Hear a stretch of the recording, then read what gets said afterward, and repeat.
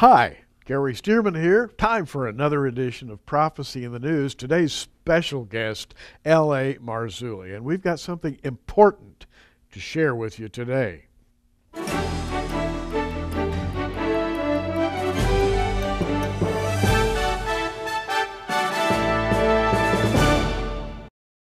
And I do mean important. L.A. Marzulli, good to have you here. Great to be here, Gary. Thanks.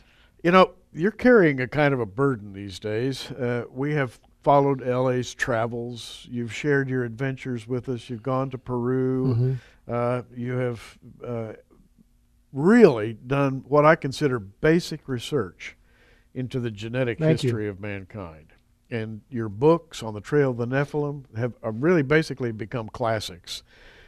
But in the process of doing this research, you, you have found yourself coming up against resistance in a lot of ways. Now, we have just come back from Newark, Ohio, uh, where Russ Dizdar, L.A. Marzulli, and myself uh, shared in the presentation of a program designed, to, I, I think, to sensitize people to the idea that there were once giants. The Bible refers to the Nephilim, and let's start our story right there because we've got a lot to talk about today. Sure, absolutely. And and it, what was great about the conference is the way your presentation sort of anchored the the conference. I mean, and you did it from a, a biblical perspective, and it was it was almost an exhaustive presentation. What I mean by that is you really covered so much material, and you only had two hours, but you covered just a wealth of material and presented it in such a way that people could see that my gosh, this is sort of the key to end time prophecy in a way. And you enabled Russ to t- take off from your your platform, and and I was able to take off from what you laid down. So it was and the uh, really good. basically is this that there is something in the Bible that's an extraordinarily important topic that's been mostly ignored. And, and let me just give you an example to start with here. Genesis 14, uh, this is the narrative in which Abraham goes to the land Mhm. that God showed him. Says, "Go down there. I- I've got something I want you to do." And Abraham went. By the, at that time, he was called Abram. And in, in Genesis 14, verse 1, it says, And it came to pass in the days of Amraphel, king of Shinar, Arioch, king of Elasar, Kedorlaomer, king of Elam, and Tidal, king of nations, four Gentile kings. Well, does that ring a bell? It does. Babylon, Medo Persia, Greece, and Rome. This is mm-hmm. a foreshadowing of the prophetic history of the Middle East. Mm.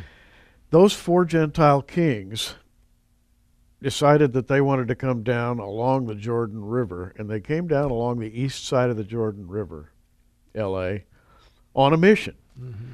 to capture the land. And in the sixth, uh, well, the fifth verse, let me read that. In the fourteenth year came Kedorlaomer and the kings that were with him and smote the Rephaims in Ashtaroth Karnaim and the Zuzims in Ham and the Amims in Shaveh Kiriataim. Those Gentile kings were on a mission to destroy giants. And the giants are the Amims, they are the Rephaim, they are the Zuzim, three major branches of giants. Why did they want to do that? What was their mission? Well, if you read the Bible carefully, you find out uh, that their mission extends all the way through the days of Abraham, Isaac, Jacob, the 12 tribes, all the way up to the kingdom of David. And yet, how often is this taught in church? This history of the giants. And not only is it not taught in church, but then we have those who are trying to tell us that there is no second incursion. That well, they really the Nephilim only happened before the flood, and it didn't. We don't get a second, third, and fourth incursion. And yet, just a just a cursory reading of Scripture shows us that the Rephaim are there, the Emims are there. And why would Moses, who is writing, you know, hundreds of years after the flood, why would he then in Genesis six tell us that the son that the Nephilim were on the earth? In those days and also afterwards. Why, if he was writing, you know, hundreds of years later, he would just write the Nephilim were on the earth in those days, period, because that's those days. You know, he's he's pointing back in, into the into the far distant past. But he says, and also afterward, and he's writing that hundreds of years after the flood, and he's telling us, and also afterward when the sons of God saw the daughters of, of men and went into them. And that's the biblical sense of coitus. There's no way around that. Had children, and his children were called the Nephilim. And what's so important about that is we see that there are different names for the tribes. As, as these four kings are going down, there are different Nephilim, generic term, but there are Right. ne- different Nephilim tribes with different genetic characteristics. Exactly. Like the long necks, for instance. Exactly. Yeah, the Anakim, the long necks. And, and we come to the conclusion that there were uh, developed species of very, very large people. Now, as I mentioned at Newark, when you think of a giant today, you think of a, an anomaly. Uh, there are people who grow to be eight feet, nine feet Sure. tall, but they're always very sickly and they don't live to be very old. They are the acromegalic giants uh, that you read about. And usually you could walk up one of these guys and push him and he'd fall over. They're, they're spindly and weak and so forth. And when we think of giants, we think of a pituitary problem. Not so in the Old Testament. Those giants were huge. Uh, maybe in the range of 30 feet tall in some cases, and there's there's actual historic record keeping that reflects that, right? Yeah, there. It specifically in, in the time in the days of Noah, that first incursion, the giants could easily have been 30, 35 feet tall, and that's hard for us to to, to grasp. I mean, a being that large, and yet apparently, according to some of the newspaper reports that come around in the in the 19th century, uh, reports of very very large skeletons. There's a lot of stuff on the net which shows these these large skeletons, and most of those are all of them, I would say, Yeah. are Photoshop. And yet we, um, I'll, I'll just give you a, a little clue here. I, I sat down with a anthropologist, and I can't even tell you the name of the city because I don't want to get this guy in trouble. But it was a city somewhere in the United States, and he told me that there was a construction project um, that was happening, and he was called in, uh, and they went very deep with the foundation, and they found a very large femur bone. And he told me that this femur bone, if he went public with it, would rewrite American history as we know it. I said, Well, why don't you do something? Why don't you go? And, and he was terrified. And the reason why he's terrified is because he could lose his job, his tenure, I mean, everything, if he goes out and says what, what is really there. And so there's this fear in academia. And of course, you know, people say, oh, you're just making this up. Ben Stein's movie Expelled exposes this that anyone who has a different is operating under a different paradigm in Ben Stein's movie, it's creationism or actually just intelligent design, can lose their job, tenure, reputation, and we see this, and that of course is intellectual fascism. Why can't we go where the evidence leads us? If there really is a giant femur bone, and he said the thing was like close to four feet. Now that's, you know, here's here's my femur bone. It's a little over, you know, 18, 19, 20 inches. You get something that's 48 inches. Now you're looking at uh, a being which is well over 20 feet. Yeah, a, a, Very very, very huge being. And the interesting thing is, this is not the only instance of a giant skeleton having No. been found. I've, I myself have talked to people who have seen them. I've talked to one gentleman who was a, a pastor of a church and traveled through Arizona and saw a, the mummy of a giant, which has since, by the way, mysteriously It's been disappeared. removed. Yes, I'm aware And of that. that that giant was estimated to be around 12 feet tall.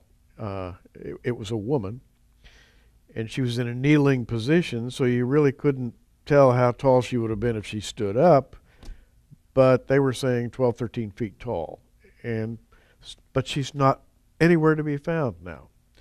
And you've you've run into this yourself. Everywhere you go, people will say, "Well, there used to be such and such an artifact, but nobody knows where it went." Right? Well, one of the, one of the interesting pictures, and this is my discovery, will be in the Trail of a Nephilim Volume Two when it comes out in the fall.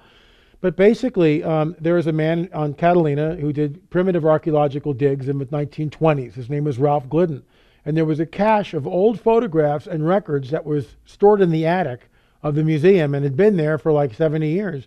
And the curator, John Boragina, the former curator, found the trunk, and I was able to look at the pictures. Mm-hmm. And what I found, and we've had four people with different computer programs looking at the photograph, and this is based on your suggestion and based on the idea or the fact that Ralph Glidden was five foot eight inches tall. Extrapolating the data from the picture, they're able to mm-hmm. ascertain that the giant that, that skeleton in that picture is around nine feet, and that's just not normal. That's some. All bets are off. And by the way, that was in your presentation at Newark. That's in- correct. In the Nephilim Mounds uh, conference. which is in that DVD. I presented information on the biblical history of the giants, which is massive. I, I didn't even scratch the surface, LA. There's so much more. But as you said, I put a lot of detail in my study. A lot of detail. And, and when you watch my study, and combined with your study and Russ's, there's you come to one conclusion that that we are being duped.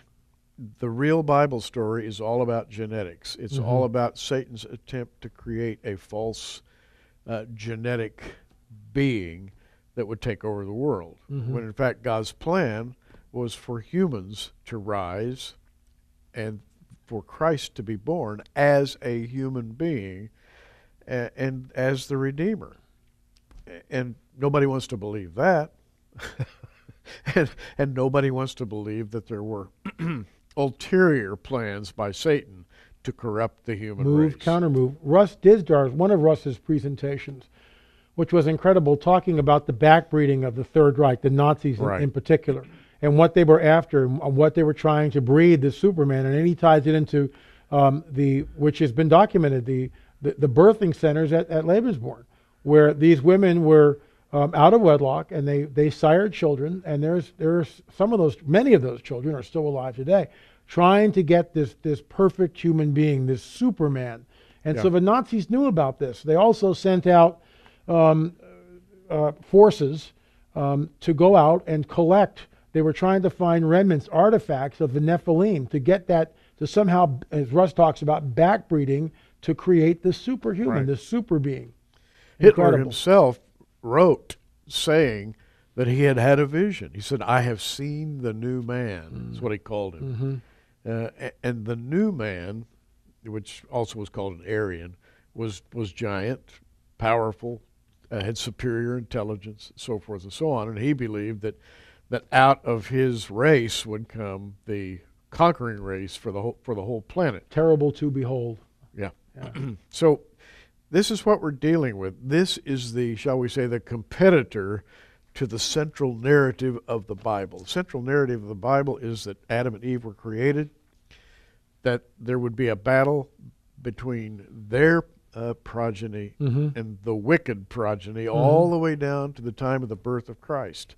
And the battle raged around genetics.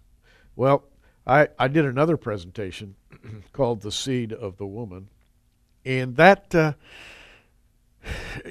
I, the title I actually that I spoke under was "It's all about the seed," and really the Bible is all about the seed. It's all Seed about war. genetics Sure, absolutely. and people have sort of thrown that particular subject aside and thrown away the detail that supports it, and that's where we come in. And we are trying to reestablish the biblical narrative. And I think you're doing a great job of it, by the way, by going out and doing primary research, because you're making people sit up and take notice. And, and it's good to do that. You know, part of what we're trying to do too is, is get genetic sampling or genetic samples, um, tissue samples out of Peru. We've been there. I've been there like three different times now, and we've got nine samples that are sitting in Peru, and we're trying to get the paperwork and because there's all these hoops just to get this DNA stuff out, Yeah. just to get the samples out to test.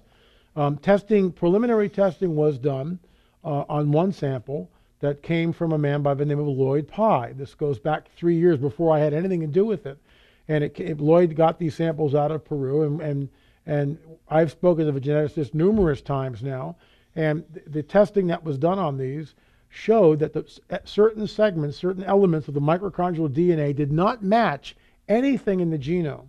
And of course, that goes along with our hypothesis that Nephilim tribes, when Joshua and Caleb came into the promised land, mm-hmm. these Nephilim tribes, was, there was a diaspora. They began to flee for their lives because we know the mandate from a loving, holy God was to wipe these creatures out because they weren't human. Right. And some fled through, through un- into, into Northern Europe, probably came to the Americas. Others built ships, sailed across the Atlantic. Thor Heyerdahl proved that with his book Ra. You certainly can do that. Others perhaps went down to Africa, and we see very uh, in, uh, sort of enticing clues in all these areas with the giant uh, Native Americans talking about a race of, of giant men with red hair and six fingers which inhabited the land before they came, and that's all in their oral history. So what's interesting is is we see down in Peru we see genetic anomalies, and the DNA testing will show this. Um, and hopefully, based on the test, the earlier testing, the mitochondrial DNA did not match anything in the human genome, which again bolsters our hypothesis and points to the biblical narrative as being the correct one, not the Darwinian paradigm. Probably the most uh, famous giant of all giants would be Goliath, Mm-hmm. the Battle of David and Goliath, which, by the way, is a biblical theme. You know, Goliath representing all that's wrong with the world, and David representing all that's right with the world. The battle of the Redeemer versus the uh, the nations, if you will. Goliath was of the Rephaim, one specific breed tribe. of giant. Now, and they had six fingers, by the way. He had four brothers that are mentioned in the Bible. It's, it's very it's treated with great reality, a realistic appraisal of of these giants. But what I want to get to is that these were not weaklings. They were very strong. Uh, Goliath's armor is described, and it weighs so much that an ordinary man couldn't even pick it up. So we're not talking about weaklings. We are talking about very, very strong people, and they leave behind an architectural history, these megalithic structures. And I wanted to get into that just briefly because ancient megalithic structures are explained away by modern archaeology as well.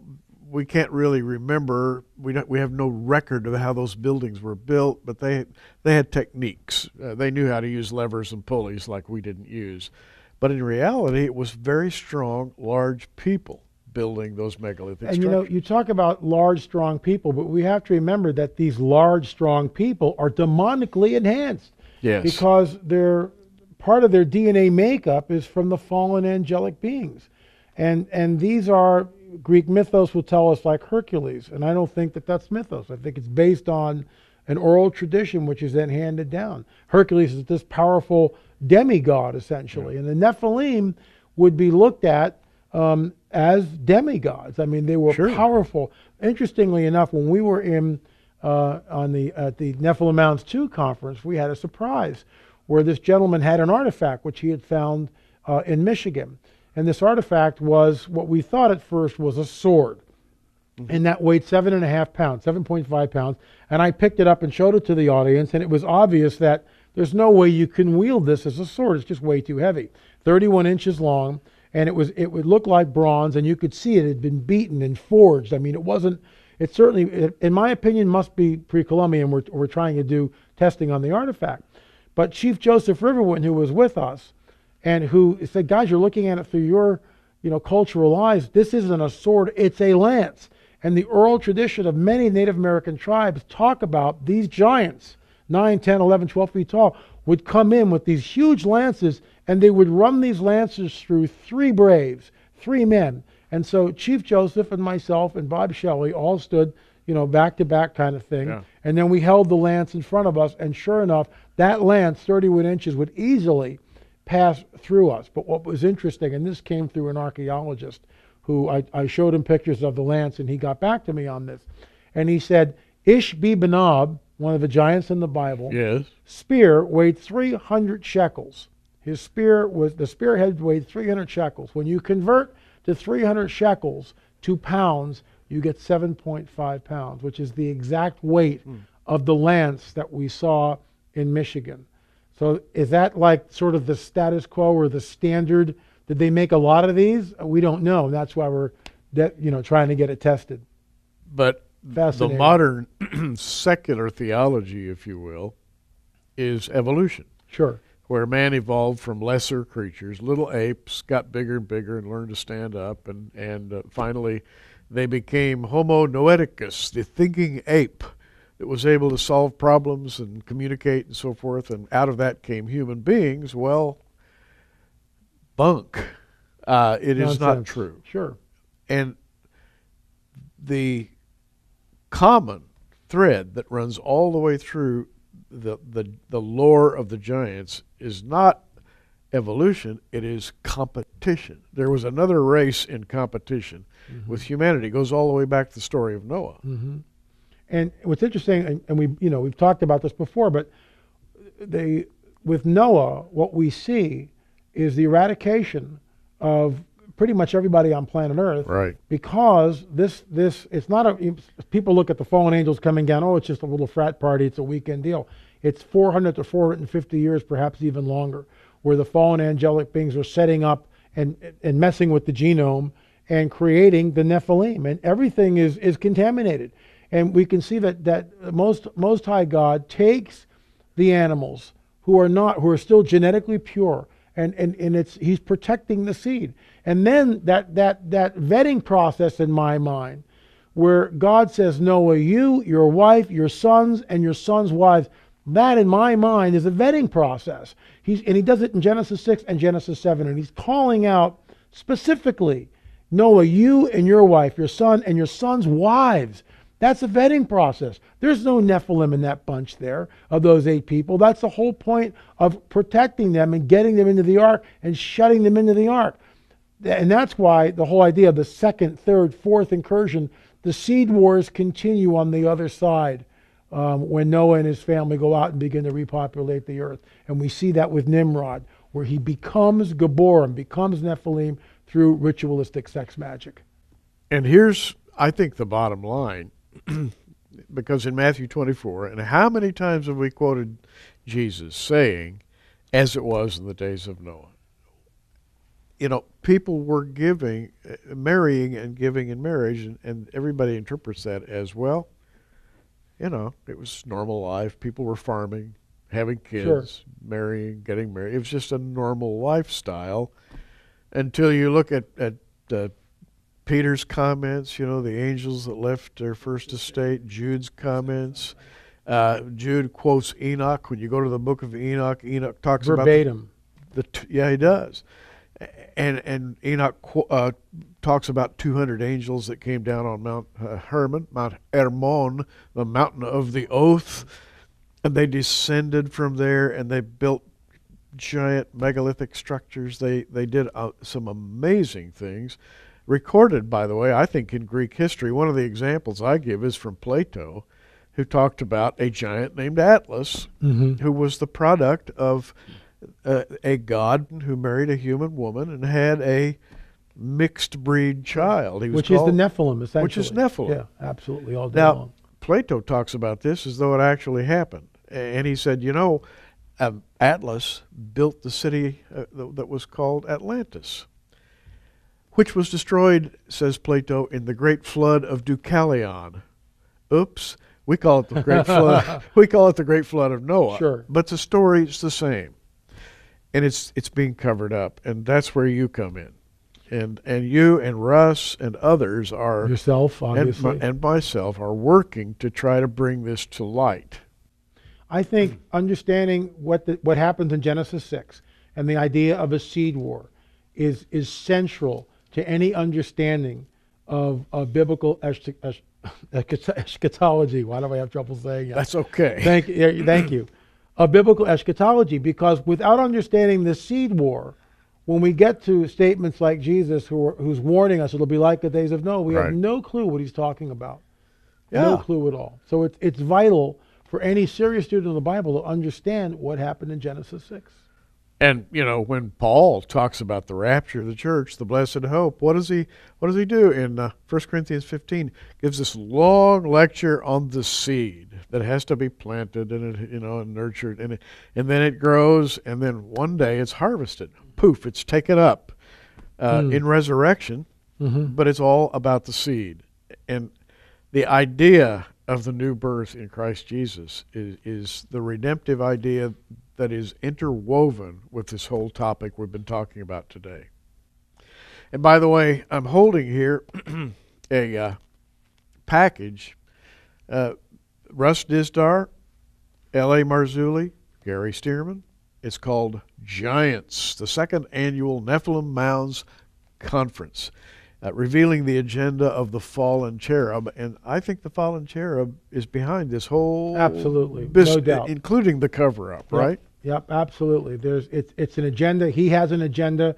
He's trying to suppress the information, keep it from the people. And we, you say, well, you know, that's nonsense. No, it's not nonsense. What what happened to that nine foot skeleton that Ralph Glidden found in 1928 on the island of Catalina? Why can't we see it? Where's that giant that you said, you know, your friend driving through Arizona? And I'm familiar with those stories. There's another one in Kansas, yeah. the same type of thing. They used to be there in the 50s, early 60s. Now they're all gone. Why is that? Why can't we look at this stuff? What are they afraid of? Well, LA speaks on uh, giant bones, giant cover ups, ancient megalithic structures, uh, the UFO breeding program. Are the Nephilim here today? Good topic. We're going to extend that, by the way, in a further conversation. Russ talks about uh, backbreeding the Nephilim, supercharging DNA. You know, talks about what the Nazis were trying to do, the Golden Dawn Society, the Thule Society. It's exactly what they were trying to do. And of course, my uh, my two presentations, what is a giant according to Scripture, and it's all about the seed, the story of the seed of the serpent versus the seed of the woman. It, boy, what a story! And there's eight hours of pre- over eight hours of presentations, along with I think what a two-hour question and answer period at yeah, the end, something like that. Yeah. So a lot of uh, information. Uh, offer this. This is a Giants Two DVD set. And by the way, uh, we're offering this to you for fifty nine ninety five. The Giants Two DVD set. The Giants Two DVD set, fifty nine ninety five. Now, all, as we always do, we put a little something with it. Uh, we have uh, this DVD set, uh, L.A. Marzulli, Russ Dizdar. This is Giants Hiding in Plain Sight, the first Nephilim Mounds concert, uh, concert conference. You've got me doing it now. Okay, I feel better, folks. and we're putting this together as the Nephilim package. Both DVD sets, which, by the way, let me just do this right. Both DVD sets, plus the free copy of Zenith 2016 for only $99.95 and you just ask for the Nephilim package. That'll get you both DVD sets and the book, Zenith 2016. If you don't have this book, you can get it absolutely free when you order the Nephilim package. If you just want the Giants 2 DVD set, that's $59.95. Hope that's clear. And uh, all you have to do is call the 800 number on your screen. LA, we're going to continue this uh, discussion in another program and get more into uh, some of the very exciting visuals that you presented. Sure, absolutely. And, and, by the way, that's one of the beauties of receiving these DVDs. You can see the visuals that he presents in his talk and, and really get an idea of some what, really what good PowerPoint pictures. It's yeah, great. PowerPoint pictures. You want to see that giant skeleton uh, on uh, the island of Catalina? Well, you're going to see it in the DVD set. Well, Good talking to you. Likewise, Gary. And let's get together again soon. Absolutely. I'm Gary Stearman. Keep looking up, everybody.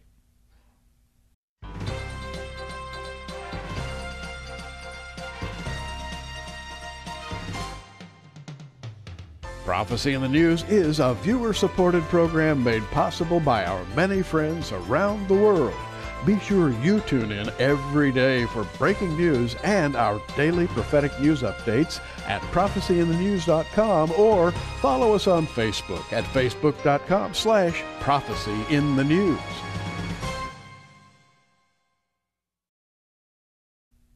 Hi, Gary Stearman here. Time for another edition of Prophecy in the News. Today's special guest, L.A. Marzulli, and we've got something important to share with you today.